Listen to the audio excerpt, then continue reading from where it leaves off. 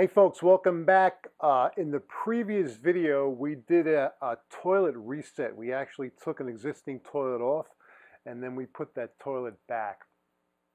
In this segment, I just want to show you what the procedure would be for a new bowl and a new tank uh, combined. Naturally, when you get the bowl and the tank, they're in two separate boxes, so you're going to set the bowl first, and you can see I already have the bowl down. Now I'll take you through the procedure to actually set the tank on top. One thing I wanted to clarify, guys, is that in the previous video, you know, I showed you my wax gasket here that uh, had to go down on the flange, and I just want to clarify that uh, I have this encased in a piece of plastic. That plastic has to come off, so you would actually, you'd actually push the plastic, peel the sides of this, and you would actually end up with just the wax gasket. You, you do not put this down on the flange because you have to remove this plastic. So I just wanted to clarify that for those of you who said, wow, do I put this down? Do I leave it on? No, you don't leave it on. You take this plastic off. You have to peel this plastic off and you have to have just the virgin wax sitting on your flange. So with that in mind, uh, let's move to the procedure for uh, prepping the tank for installation. Okay, folks, as you can see, we have our tank here set up, and I actually already installed a new flush valve gasket that came with the tank. Now it's time to set up our tank bolts. Now, you have a set of brass tank bolts followed by a series of washers. You have a washer that goes on the inside of the tank. Uh, you'll have one that goes on the outside of the tank. And you'll follow that up with a backup washer, a brass washer, followed by a nut Okay, now the procedure is to put your uh, washer that's going to go inside the tank. And what I do for insurance purposes, and a lot of guys think I'm crazy for doing this, but I do it, is I use trusty plumber's putty. And I don't use a lot of it. I use just a little bit of it. I make a little a little ribbon, if you will, with my hands. And I back up that rubber washer with a little plumber's putty. Now, a lot of feel a lot of guys uh, feel that this is not necessary, but I'll tell you, I've never had a leak through a set of tank bolts, and trust me, I've seen brand new tank bolts leak. And in an effort to reduce my callbacks, putty does the job. So we set it through the tank. I can see the putty squeezed out.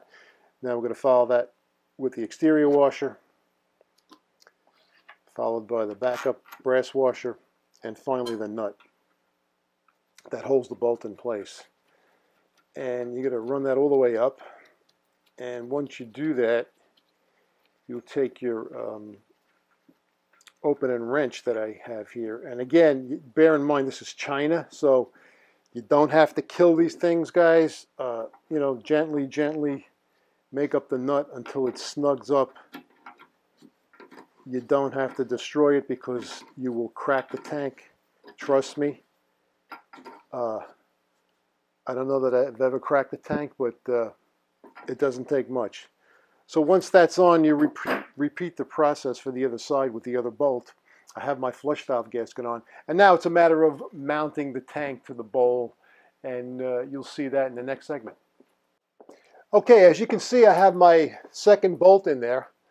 Uh, I backed that up with putty also. Uh, put it through the tank. I got that snugged up with my open end wrench. And now it's a matter of just mounting the tank on top of the bowl. And I'll try to do that without blocking too much of your view. So it's a matter of lifting the tank and lining up the bolts with the holes. And that'll sit down like that.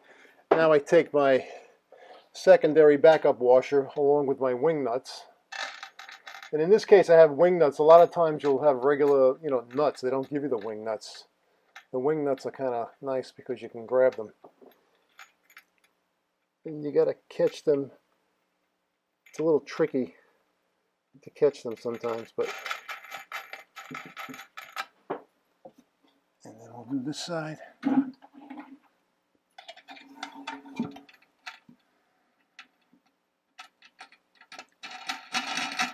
you run them up. And what I like to do is I alternate uh, my weight. I'll, I'll, push down on the left side, tighten, push down on the right side, tighten. And I'll get that to the point where it's comfortable. And I feel I'm at the point where I'm not going to crack anything.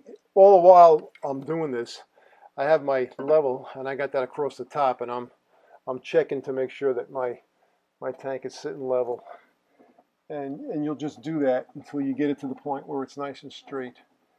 And at that point, we can stop.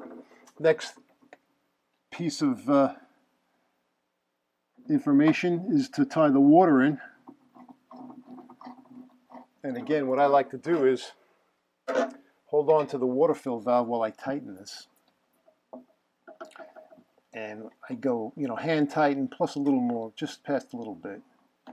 At this stage, what we can do is turn our water on to the left. We're going to turn it all the way on to the left. In this case, it's already on. Uh, now, after this fills up with water, we're going to flush this several times. And we're going to test it. And what we're looking for is no water. We don't want to see any signs of water coming out of here. We don't want to see any signs of water coming out of the back or through the bolts. At that stage, guys, you're finished. Um, in the previous video, uh, you know, we did uh, the removal and reinstallation of a tank and bowl. In this video, I showed you how to actually mount a tank to a bowl. Not all that difficult. Uh, the best piece of advice I can give you is, is use that putty on your backup uh, bolts inside the tank because I've installed many tanks with brand new washers and brand new bolts and tightened them down and they leaked. They didn't leak a lot, but they leaked enough for me to get the ultimate phone call, and I had to go back and take care of it.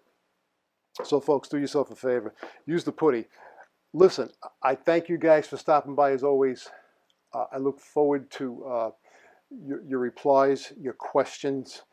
You could reach me at bobsplumbingvideos.com. My email is info at bobsplumbingvideos.com.